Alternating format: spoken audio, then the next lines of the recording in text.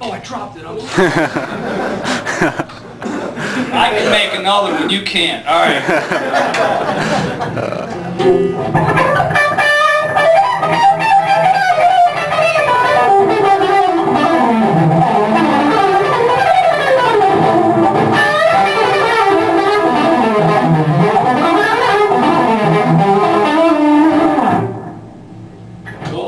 Whole step up from that, but I mean, that's just pretty much, this, this actual guitar, I had my first two PRSs, and this was my backup. I took it to Europe, and it's a weird story because people recognize that I played this in a death metal band.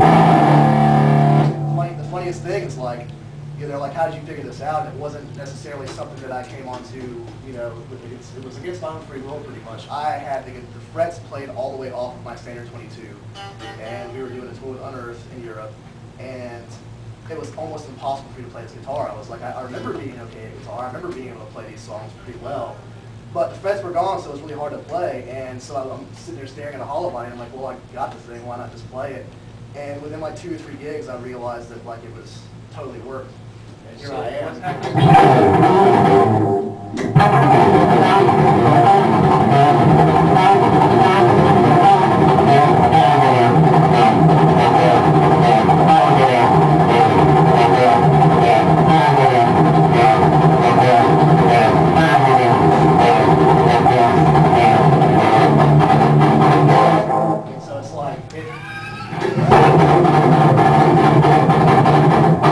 You gotta really let you see me David You gotta played do that on a- David. on a- He just did it!